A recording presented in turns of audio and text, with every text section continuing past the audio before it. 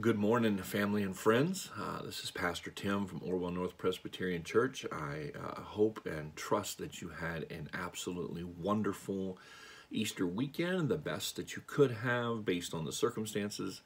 And um, I'm just glad that you're here this morning. It's another Monday morning, and um, we're going to get into some scripture this morning and talk about things we should be watching for uh, today.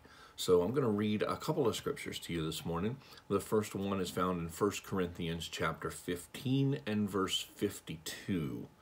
1 Corinthians 15, 52, Paul says this, In a flash, in the twinkling of an eye, at the last trumpet, for the trumpet will sound, the dead will be raised imperishable, and we will be changed. Matthew chapter 24 and verse 42, Jesus said this, Therefore, keep watch, because you do not know on what day your Lord will come. And finally, in the book of Micah, chapter 7 and verse 7, Micah said, But as for me, I watch and hope for the Lord. I wait for God, my Savior. Do you remember waking up Christmas morning and being so excited that you could hardly contain yourself? I mean, you, were crazy excited. Today is the day. You've waited and you've watched for this day for what seems like forever, and now it's finally here. That childlike enthusiasm that you had for Christmas morning was something that our parents waited for, and they cherished that moment.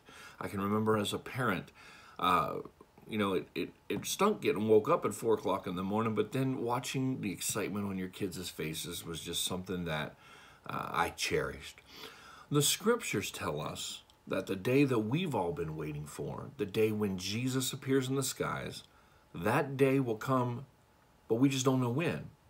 That beautiful day when all this mess will cease is promised and is coming. So we should wake up every day with enthusiastic excitement.